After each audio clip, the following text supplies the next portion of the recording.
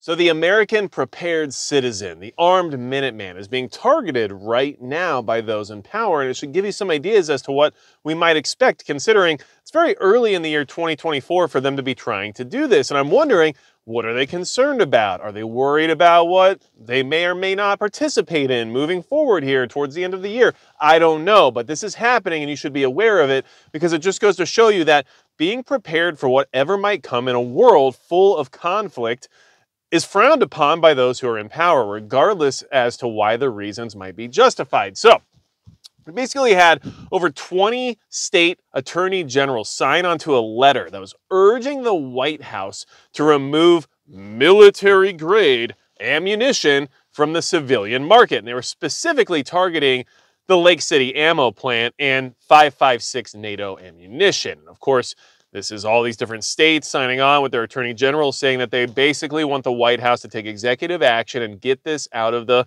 public domain.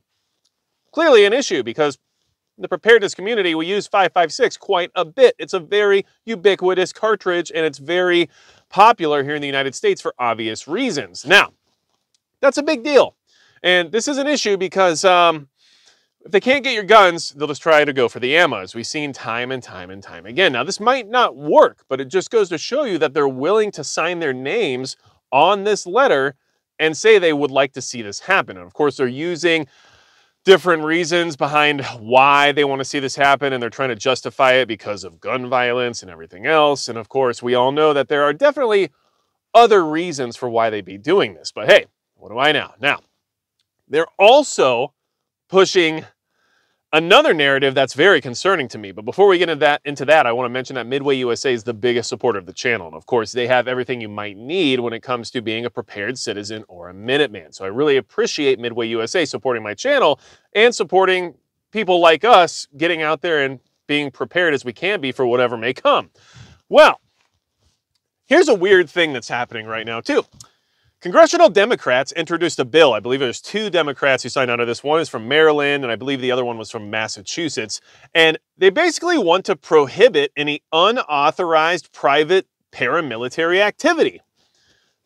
Well, what does that mean? Well, these are blanket statements that they're trying to push through that could easily affect somebody like myself or anyone in the preparedness community that does any level of training with more than one individual, right? So why is that? Well, let me go through what it is they're exactly trying to prohibit. And this should give you an idea as to what they're trying to stop you from doing and what they might, I don't know, be concerned about. Like, I don't know what else to think here, but I'm also going to tell you what we can do about it. And um, anyway, all right, here's what they want you to not be able to do publicly patrol drill, or engage in techniques capable of causing bodily injury or death. Okay, well, I think uh, the drill aspect is definitely problematic considering you could cons basically call any level of training a drill of sorts now, can't you?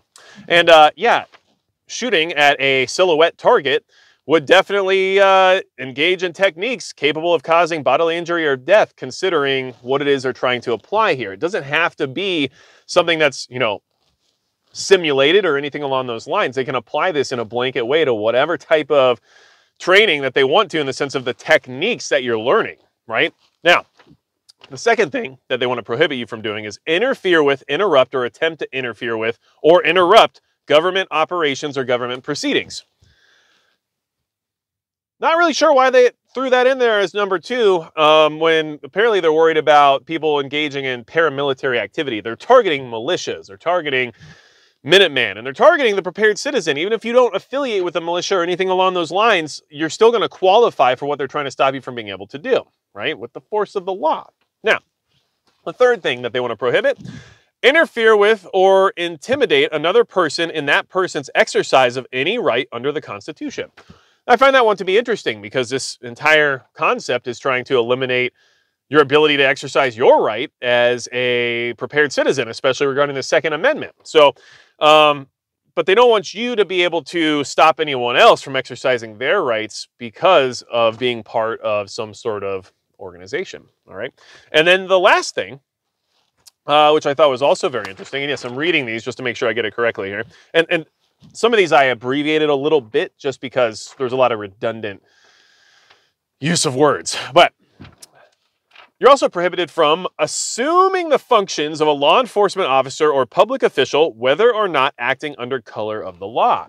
Now, this is them basically saying that even in an emergency or in some sort of collapse type scenario, if you were to get together with your local community group, right, and try to help police your neighborhood or try to reenact some level of government within your local area after a collapse of sorts, uh, they're trying to say that you're not allowed to do that okay? That they don't want you doing that uh, because it's because it's not up to you. You're not a public official, you're not law enforcement, so therefore you can't assume any of those functions. But we're talking about emergencies here where we just want to make sure our community can survive this emergency, but they're trying to stop you from being able to do that. And now the last thing is to train to engage in any activity described in paragraphs one through four. So everything I just told you, the last thing is just reiterating that if you train to do any of these things, like publicly patrol, or to assume functions of a law enforcement officer, aka maybe law enforcement has collapsed in your city, or maybe everyone disappeared in order to go back to their families, or who knows what happened. Um, if you're training at all in a capacity that would allow you to assume that function in case of an emergency, they want to prohibit that.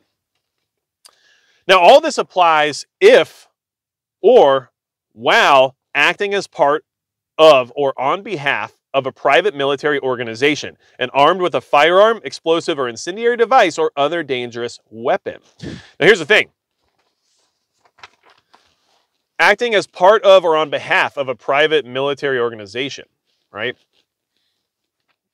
That's another blanket statement type statement there where they can apply that regarding whatever it is they feel might qualify to that level which would then prohibit you from doing all the other things they're trying to introduce. Now, in my opinion, this bill is likely dead in the water, but it just goes to show you what it is they're trying to accomplish, especially at this point in time.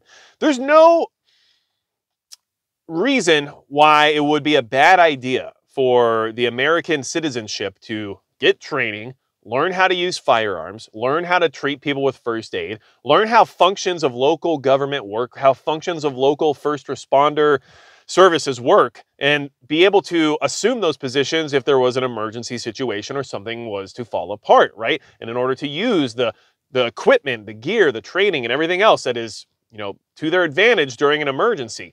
All these things are reasonable for people to be trying to do right now, especially in a world that's right now at war. I mean, it, this war is only escalating. It's not improving by any means. And yet, these government officials are trying their best to say, if you do these things, we're going to put you in jail. If you want this ammunition, we're going to try to take it away from you. We don't want the civilians to have 556 NATO coming out of the Lake City ammo plant, right?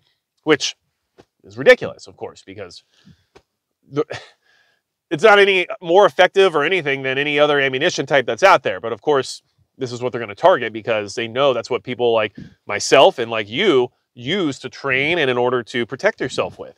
So I think the timing is strange.